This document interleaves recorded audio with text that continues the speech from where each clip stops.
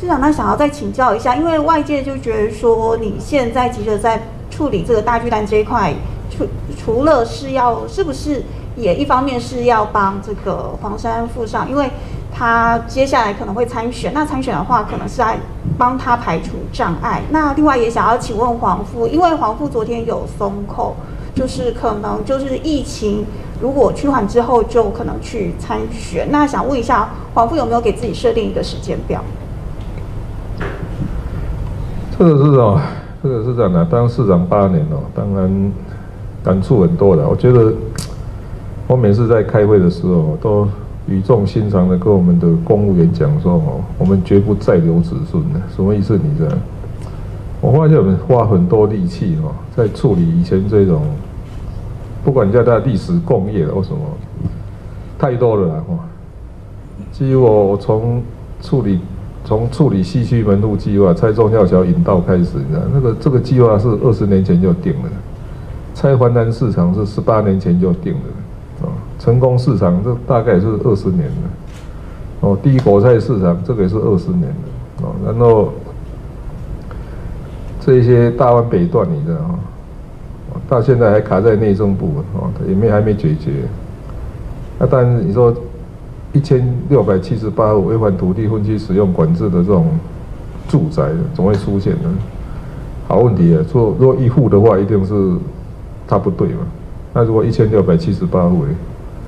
哦，那你说设置岛，设置岛进建五十年了，所以，我我是很努力的，你知道你不要看今天北流北翼哦，都已经盖好了，过程实在是会哭出来了。北翼盖到一半倒闭哦，北流那个。变预算到开工隔了十年了，预算根本不能用了，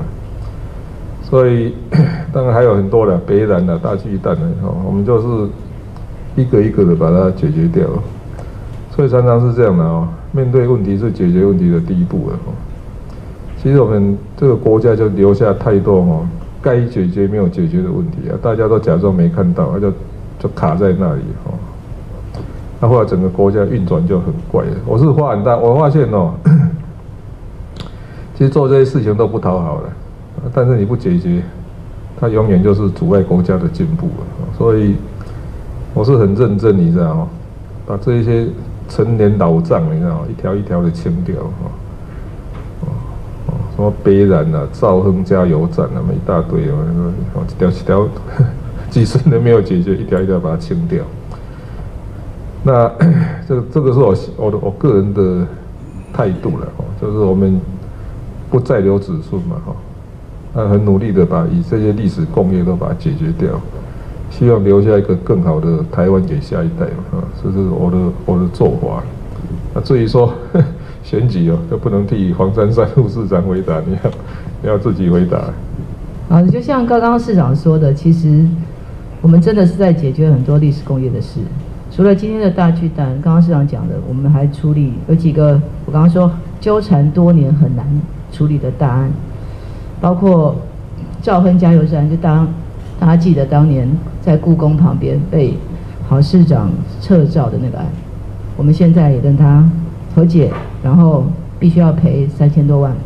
然后还要协助他恢复加油站设置。